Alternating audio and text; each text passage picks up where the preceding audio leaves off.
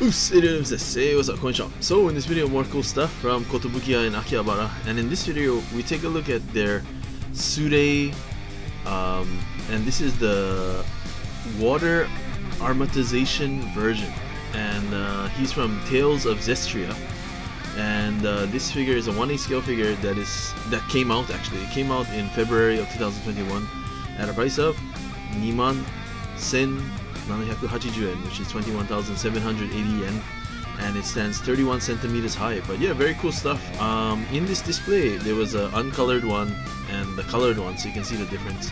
But yeah they did a really good job with his weapon. Uh, pretty cool.